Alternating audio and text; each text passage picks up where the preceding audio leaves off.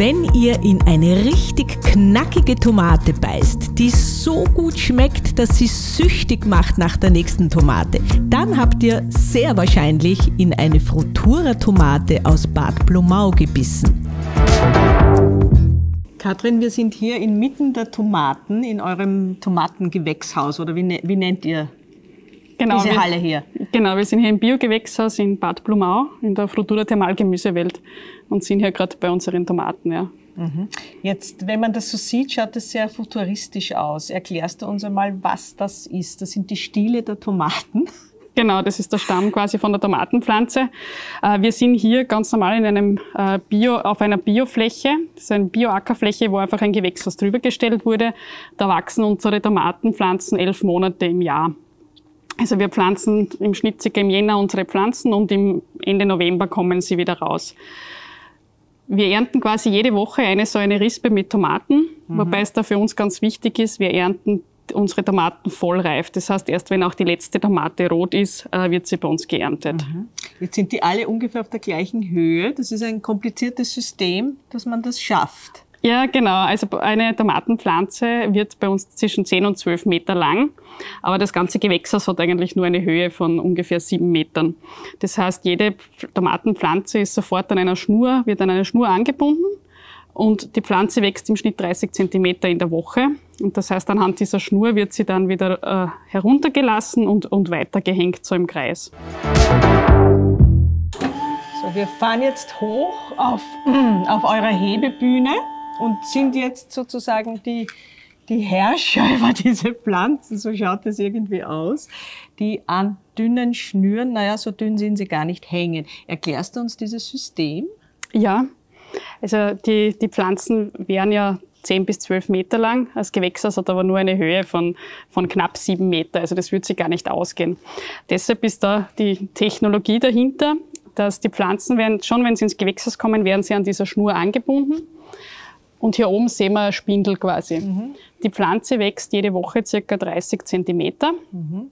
Das heißt, die muss jede Woche wird die Pflanze dann auch wieder runtergelassen, damit sie nicht oben drüber rauswächst. Genau, also das muss dreht, aber händisch gemacht Genau, werden. das wird ja. alles händisch gemacht. Mhm. Also man dreht quasi die Spindel einmal um und hängt sie ein Stück weiter, damit auch nicht unten der ganze Stamm auf das einmal heißt, das aufliegt. Sind ja tausende Spindeln. Genau, genau. Die jeden Tag händisch. Einmal die Woche müssen sie, müssen Woche. sie händisch da bewegt werden, genau. Mhm.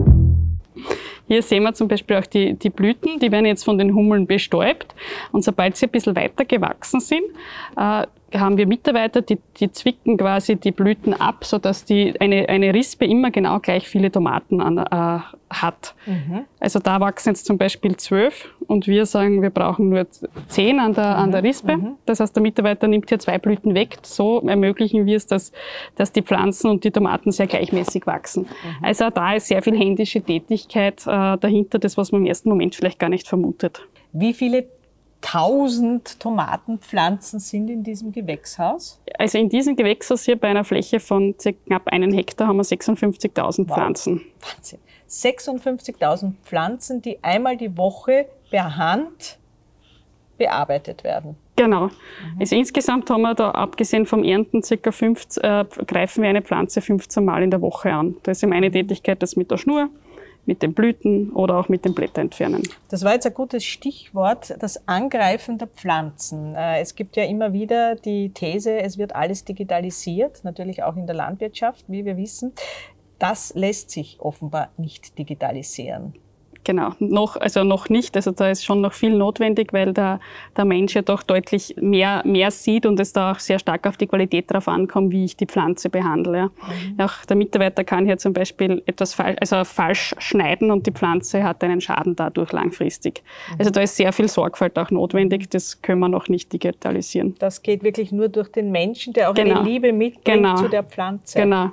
Mhm. Also man muss schon ein Gefühl auch für die Pflanzen haben, äh, sonst funktioniert das nicht.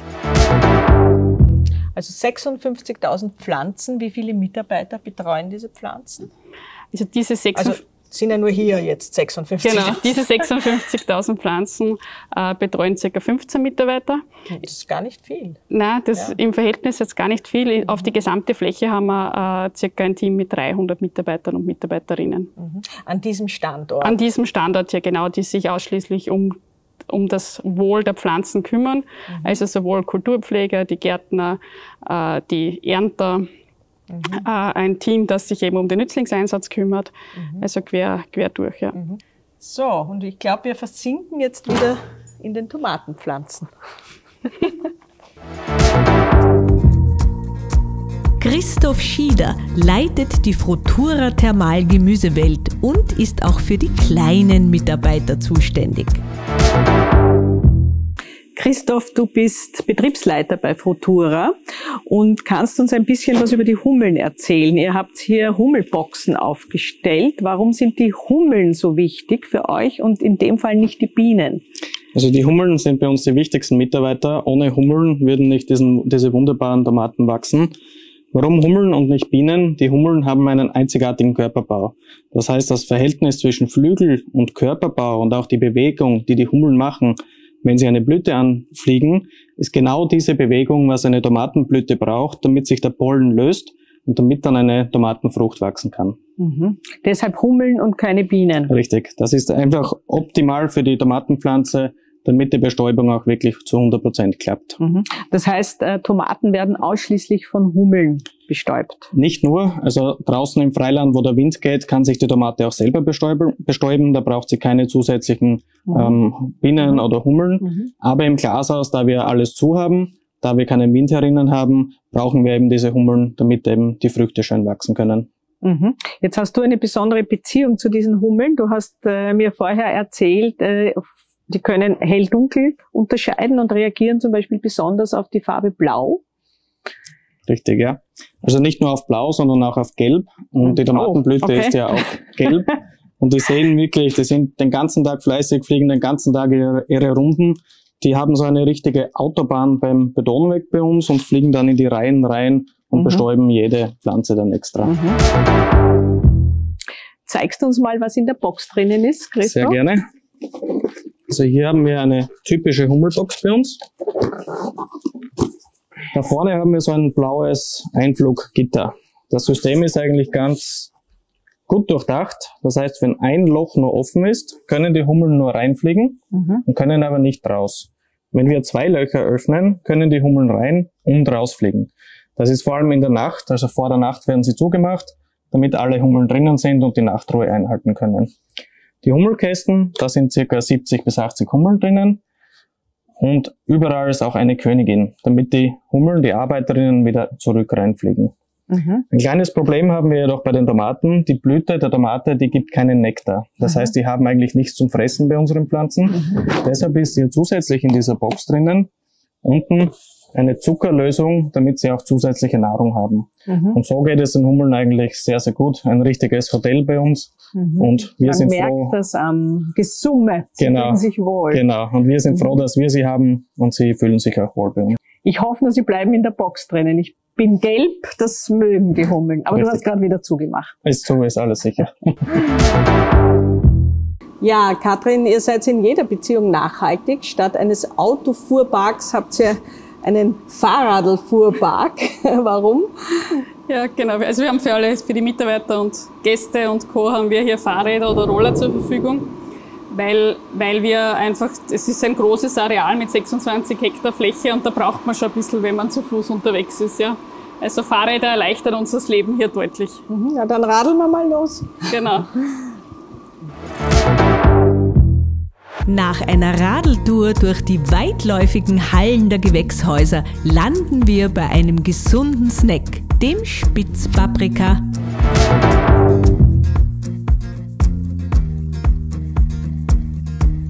Jetzt sind wir schon bei den Spitzpaprikas. Katrin, ähm, was können diese Paprika? Ja, also wir sind hier bei den orangen Spitzpaprika. Wir haben die auch in, äh, in Gelb und in Rot. Das Besondere an denen ist einfach, dass sie einen extrem guten Geschmack haben. Ja? Also mhm. Paprika hat ja sehr viele gesunde Eigenschaften, aber der Geschmack ist hier wirklich äh, herausragend. Können mhm. wir gerne ein Stück verkosten? Christoph, unser Betriebsleiter, euer Betriebsleiter, isst schon. Sehr lecker. Mhm. Mhm. Sehr lecker. Mhm. Mhm. Der Geschmack entwickelt sich wirklich erst mit der Farbe. Also ein grüner Paprika, der schmeckt immer ein bisschen bitter. Ist auch nicht so bekömmlich wie ein färbiger Paprika. Die Süße, das Aroma kommt erst wirklich, wenn er voll ausgereift ist. Das geht immer als Snack zwischendurch und ihr nützt das auch und nascht euch durch den Tag, oder? Genau, also wir haben das große Glück, dass wir da sehr gesund leben können mit dem ganzen Gemüse, das wir hier haben. Ja, und ich glaube, jetzt beiße ich dann einmal in so einen Spitzpaprika hinein. Mmh. Herrlich. Kann ich nur empfehlen. Katrin brennt für das Unternehmen, das ihr Vater Manfred Hohensinner gegründet hat und das sie gemeinsam mit ihm und den Mitarbeitern in die Zukunft führt. Manfred Hohensinner, Sie sind äh, Geschäftsführer und Eigentümer und Gründer von Frutura. Vor 20 Jahren gegründet und Sie haben eine sensationelle Erfolgsgeschichte hingelegt.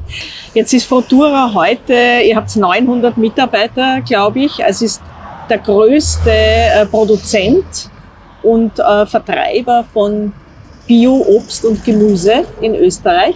Was ist denn das für ein Gefühl, äh, sowas auf die Beine gestellt zu haben? Naja, äh, es ist ähm, Gefühl, es ist Dankbarkeit und Demut zugleich, ja. Weil, äh, wie gesagt, wir dürfen ja, und das ist ja auch unser Grundberuf, wir dürfen Lebensmittel produzieren. Das sind Mittel zum Leben, die braucht jeder Mensch, auch in Zeiten der Digitalisierung. Und gerade jetzt hat das eine ganz andere Bedeutung wieder bekommen. Und unser Weg oder unsere Überzeugung war immer, dass wir nicht nur auf unsere Umwelt schauen, sondern auch, dass diese, die Wertigkeit dieser Lebensmittel nicht nur in der Produktion, sondern auch im Geschmack und äh, wirklich hier hochwertiges Obst und Gemüse zu produzieren. Und, und heute stellt sich auch heraus, äh, das ist ja auch das wirkvollste Mittel oder wirksamste Mittel gegen Lebensmittelverschwendung, weil alles, was schmeckt, schmeißt man nicht weg. Ja? Genau. Und hier haben wir halt immer versucht, andere Wege zu gehen, die was nicht immer einfach waren. Ähm, bin, wie gesagt, auch von allen Institutionen in Österreich ausgeschlossen Der worden. Rebell, Sie gelten als der, der Rebell. ich kenne als äh, Rebell. Ich bin eigentlich kein Lauter von Ja. dem, aber wie gesagt, also habe halt immer versucht, andere Wege zu gehen und, und, und schauen Sie, alleine kann man gar nichts machen. Man braucht überall Partner. Jetzt ist dein Vater der Pionier in dieser Hinsicht, äh, schafft sowas, äh, also er hat die Latte sehr hochgelegt, sage ich einmal. Ja.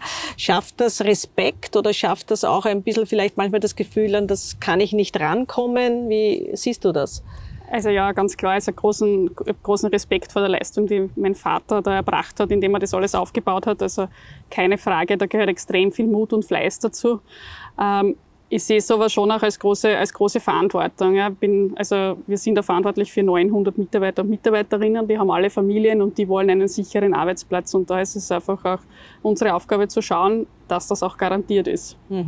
Wann hat bei dir dann dieser Prozess eingesetzt, wo du dir gedacht hast, eigentlich toll, was mein Vater da für eine Idee entwickelt hat und Eigentlich erst zehn Jahre später. Also bin vor knapp zehn Jahren ins Unternehmen gekommen. Davor war für mich klar, ich möchte meinen eigenen Weg gehen, bin, bin Steuerberaterin, also habe meine Liebe zu Zahlen, aber habe dann es mit der Zeit auch als Chance gesehen. Nicht jeder hat die Möglichkeit, ein Familienunternehmen weiterzuführen oder weiterzuentwickeln. Und das war dann auch eine große Freude für mich. Und dann ja, habe ich mich vor knapp zehn Jahren dazu entschieden, dass ich ins Familienunternehmen einsteige.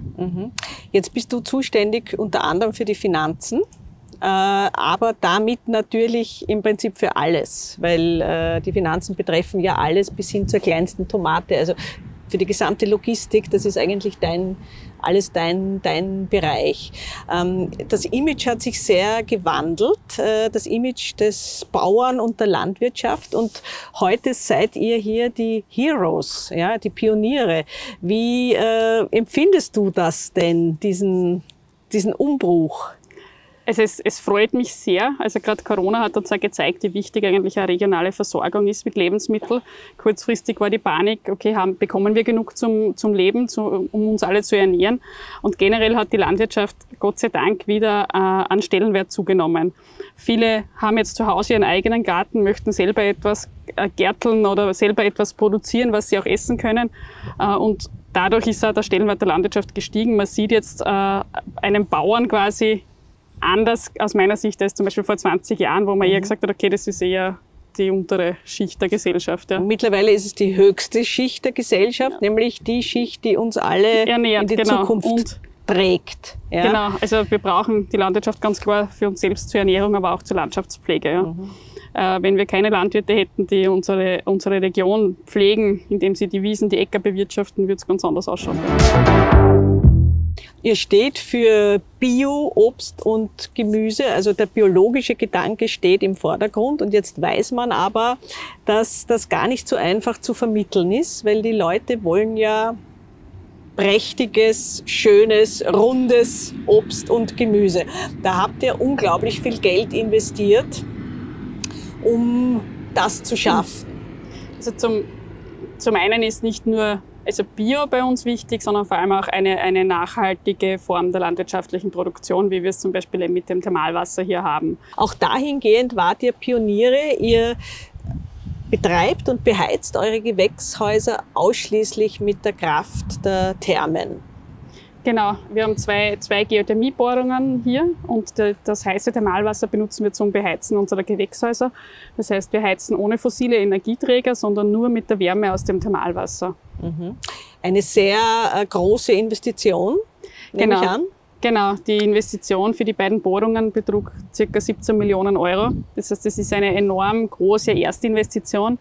Und das Gemeine daran ist das Risiko. Also, dass eine Bohrung funktioniert oder nicht, da ist die Wahrscheinlichkeit bei ca. 50 Prozent. Und wenn man zwei davon benötigt, ist es natürlich äh, schon ein, ein risikoreiches Unterfangen, wo wir im Endeffekt auch viel Glück dabei hatten, dass jetzt alles so funktioniert und wir mhm. die zwei erfolgreichsten Bohrungen in Österreich haben. Mhm. Und ihr seid die Einzigen, die das auf diese Weise machen? Genau, wir sind die Einzigen, die die, die Geothermiebohrungen jetzt auch im, im, Privatbesitz haben und das so betreiben. Mhm. Ein zukunftsweisendes Konzept in jedem Fall. Ja, ja definitiv. Mhm. Entwickelst du da auch mit? Also bist du da auch äh, dabei? Im, sozusagen im Think Tank? Äh, ja, bin ich teilweise natürlich also auch dabei und es gibt auch ein bisschen Pläne für die Zukunft, wo wir jetzt einfach schauen, Schritt für Schritt, wie wir sie umsetzen können, um eben unseren Gedanken der nachhaltigen Landwirtschaft eben noch weiter mhm. zu forcieren. Mhm. Du hast mir zuerst, im, im, wie wir im Gewächshaus waren, auch gesagt, dass ähm, der Beruf des Gärtners bei euch völlig neu definiert wird. Genau, also ein Gärtner bei uns, der quasi ein, ein, Gewächshaus auch steuern kann, der braucht sehr viele Fähigkeiten. Der braucht einerseits ein hohes technisches Verständnis und aber auch natürlich das entsprechende Gespür für die Pflanzen. Also die Gärtner haben bei uns sehr, sehr viel oder fast alles in der Hand und die sind eigentlich hauptverantwortlich, dass wir auch entsprechend die Mengen ernten, die wir geplant haben. Mhm. Das hat nichts mehr damit zu tun, äh, am Boden rumzujäten, sondern das sind eigentlich Techniker, die... Genau, also der Gärtner in so einer Anlage ist eher ein, ein Hightech-Gärtner. Mhm. Also das Thema mit dem klassischen Gärtner am Feld hat das eigentlich wenig zu tun mittlerweile, ja. Mhm. Wie würdest du dich definieren äh, als äh, beruflich? Also natürlich als Finanzchefin, aber du, du bist ja für alles verantwortlich eigentlich. ja, als, als, als, Geschäftsführerin halt für viele Bereiche verantwortlich. Mhm. Ja, habe mittlerweile auch meine Liebe zu den Pflanzen gefunden mhm. äh, und bin auch da ganz tatkräftig dabei in den Planungen. Mhm. Schön, und jetzt schauen wir uns dein Büro noch an. Gerne. jetzt habt ihr ein wahnsinnig schönes Projekt Bio-Bienen-Apfel. Äh, wo viele prominente Botschafter äh, dafür plädieren, dass wir die Bienen äh, schützen. Warum habt ihr das ins Leben gerufen? Ja, dadurch, dass wir in der, in der Landwirtschaft tätig sind, äh, merken wir natürlich auch tagtäglich, was aktueller Klimawandel bedeutet oder auch das Bienensterben. Äh, für 70 Prozent aller Obst- und Gemüsesorten braucht man Bienen äh, zur Bestäubung. Sonst wachsen keine Früchte. Das heißt, es ist auch extrem wichtig für uns für die Versorgung. Und man sagt ja auch, Albert Einstein hat damals schon gesagt, also vier Jahre ohne die Biene hast kein Leben mehr auf der Erde. Also so eine große Bedeutung haben Bienen und dass es umwelttechnisch für die Bienen, also in den vergangenen Jahren sehr schlecht war, dass viele gestorben sind aufgrund von extremen Pflanzenschutzmitteleinsatz und so. Das ist ja mittlerweile gut bekannt äh, und wir haben es uns einfach zum Ziel gesetzt, wieder Lebensraum auch für, für Wildbienen zu schaffen. Ja. Mhm. Weil Wildbienen sind, das, sind die essentiellen Bienen eigentlich für die Bestäubung. Also das, das sind gar nicht so stark die Honigbienen, äh, da gibt es noch viel mehr Wildbienen. Und mit dem Projekt Biobienenapfel haben wir es uns zum Ziel gesetzt, eben Lebensraum für Wildbienen zu schaffen. Das heißt, wir in dem Projekt engagieren wir uns dafür, dass einfach entsprechende äh, Blumenwiesen angelegt werden.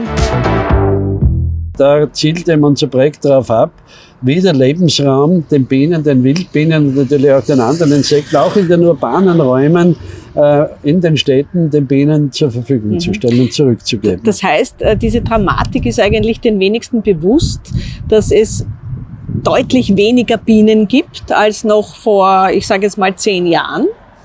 Absolut. Dass das Bienensterben massiv voranschreitet. Und wie Sie schon gesagt haben, Einstein hat es gesagt, wenn die Biene stirbt, stirbt auch der Mensch. Nur äh, das ist eigentlich in der Öffentlichkeit nicht wirklich ein Thema. Genau, und, dann, und darum wollen wir ja appellieren. Und, und wissen Sie, was das unglaublich Schöne ist auch an, an dieser Bewegung? Am Bierbienenapfel ist ja eine Umwelt- und Gesellschaftsinitiative. Ähm, es kostet eigentlich niemanden was. Mhm. Wir haben jetzt alle Bedenken, wir sind unsicher, alles wird teurer.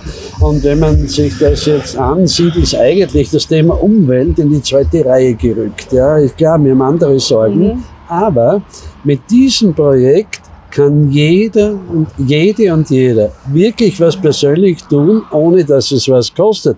Wenn es nur ein Blumentopf auf dem Balkon ist mhm. oder ein Hochbett oder im Garten einen Quadratmeter Bienenwiese. Lebensraum schaffen für Genau, die und wenn das viele mhm. machen, wenn das Hunderttausende oder Millionen machen, was glauben Sie, was wir da für einen Lebensraum zurückbekommen, aber nicht nur für die Bienen, sondern auch für uns Menschen. Mhm. Und das ist das Schöne in Zeiten mhm. wie diesen, mhm.